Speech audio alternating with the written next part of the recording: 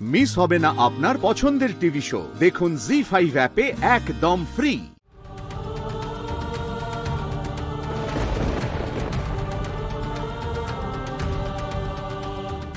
তুই মানবী নস তুই দেবী। দেবী।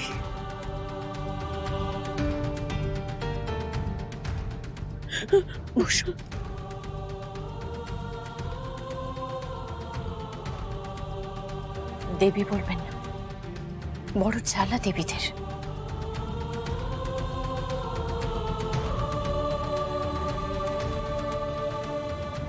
পূজা পূজা ঘুমিয়ে পড়ো ভয় পেও না চুপচাপ ঘুমিয়ে পড়ো আমি আমি আছি কোনো ভয় নেই চলো ঘুমিয়ে পড়ো আমি নিচে যাই আমি আছি কোনো ভয় নেই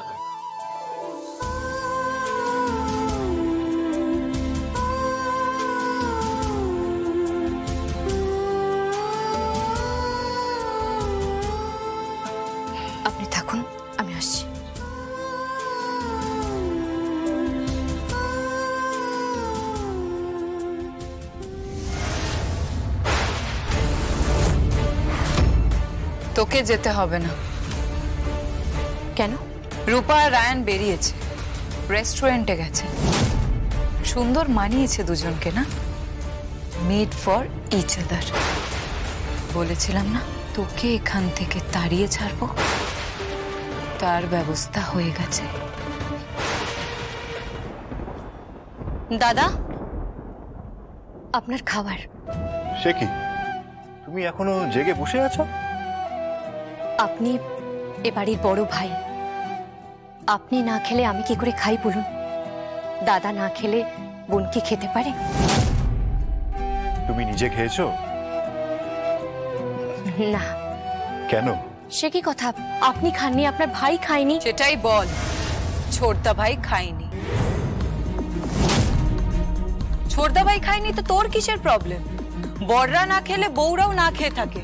তোর তো কোশমিন কালেও বিয়ে হয়নি। তুই তো একটা ফ্রড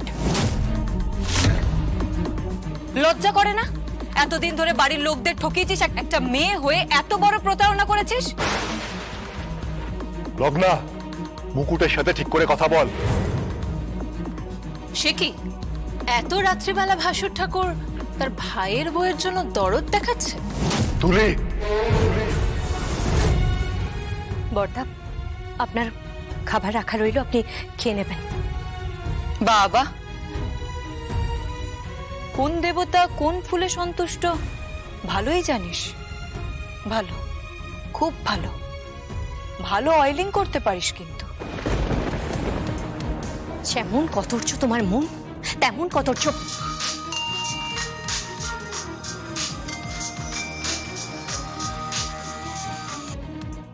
হ্যালো। রায়ন বলছি বাড়ির সবার খাওয়া হয়ে গেছে? হ্যাঁ গেছে।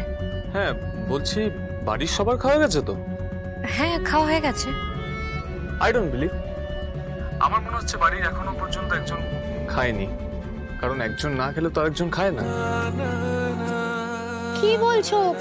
একজন না খেলে আরেকজন খায় না। আরেকজন খায়নি। আমি তো কিছুই বুঝতে পারছি না। কিছু না। কাকে ফোন করেছ তুমি? বাড়িতে। সবাই খেয়েছে কিনা? বাবা। তুমি তো ফ্যামিলি পার্সন খুব টেক কেয়ার করো? অবশ্যই। আমি যাদের ভালোবাসি তারাই তো উল্টো দিকে আছে। তুমি কার সাথে কথা বলছো? কই দেখি দেখি। Hello hello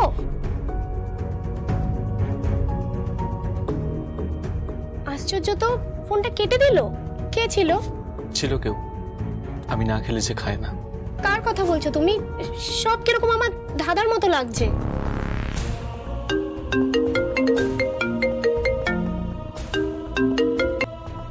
hello. কিরে? তোদের খাওয়া দাওয়া কেমন চলছে? খুব ভালো। দেখিস প্রেম করার চক্করে আবার নিজে আতপেটা খাস না আর হবু বরটাকেও আতপেটা খাইয়ে রাখিস না। মাথা খারাপ নাকি? একদম ভরপেটটা খাওয়াবো। ইভেন এখনও ডিনার চলছে। তুই কার সাথে কথা বলছিলি? মুকুট। মুকুট? কালকে কিন্তু আমার সঙ্গে একটা জায়গায় যেতে হবে। হ্যাঁ কোথায়? বিয়ের শপিং করতে। আমাদের নতুন জামাইয়ের জন্য আর তার ফ্যামিলি মেম্বারসদের জন্য পরিবারের সকলের জন্য প্রণামী টোনামি দিতে হবে না। আর হ্যাঁ আমি যখন তোমার মামুনি তাহলে তোমার বরের কথাও কিন্তু বলিনি। তোমার বরের জন্য শপিং করব। তবে হ্যাঁ বরের সঙ্গে আলাপ করাতে হবে। হ্যাঁ আর তোর বরকে কিন্তু আমি খুব বকবো। বলব তোর বউটা তো ফাঁকি দিয়ে দিল। কিরে? বরের সঙ্গে আলাপ করাবি তো? করাবো না কেন? কিরে তোর গলাটা এরম লাগছে কেন? তুই কি কিছু এড়িয়ে যাচ্ছিস মুকুট? তুই কি তোর বরকে আমাদের কাছ থেকে আড়াল করার চেষ্টা করছিস? না না আড়াল করতে চাইছি না। আমি না এখন রাখি বরং। রাখছি। রায় আমাকে একটা কথা বলবে? মুকুটের সাথে কার বিয়ে হয়েছে? দিদি ও কি করে জানবে মুকুটের কার সাথে বিয়ে হয়েছে? মুকুট কি আর ওই বাড়িতে বিয়ে করেছে নাকি? মুকুট তো সেদিনকে বলল দশটা পাঁচটা ডিউটি করে এরকম কোনো ছেলের সাথে ওর বিয়ে হয়েছে? সেই মুকুট তো আর কোনো রাজপুত্র পাবে না। চলো অনেক রাত হয়েছে যাওয়া যাক। ও কিন্তু রাজপুত্রই পাবে।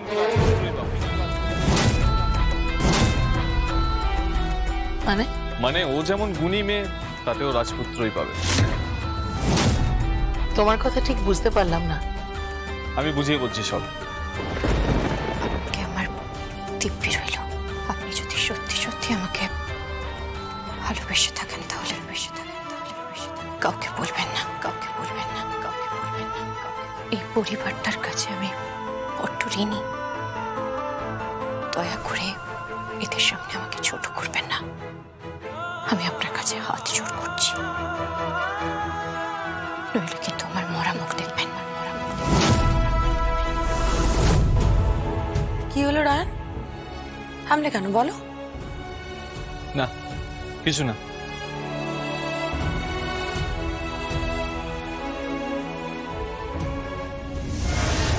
খুব চালবাজ মেয়ে তুই। বেশ ভালোই ছক জানিস তাই না? কি সুন্দর পেঁচিয়ে পেঁচিয়ে ঘুরিয়ে ফিরিয়ে নাটক দেখাচ্ছিস।